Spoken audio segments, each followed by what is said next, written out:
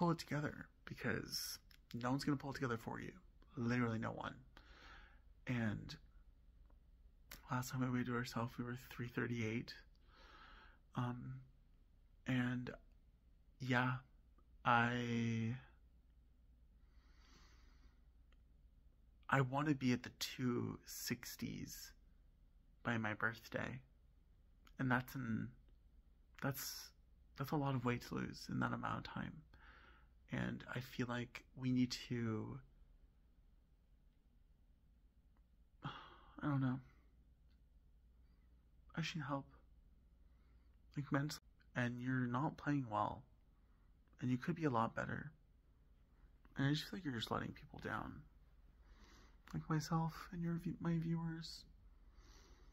My 15 viewers. I don't know. Hello, Ben from the past. Is the same date like it was last year. It is May 7th, 2024. And um, we did end up getting the weight that we wanted to get to, from our birthday, which was 260. And now we are 230. Um, and now we have an average of 500 viewers, which is like, it's insane that so much can change in a year. And um, I just, okay. I just want to say to everyone, thank you so much for the support and everything. And like, I'm, uh, like, I can't.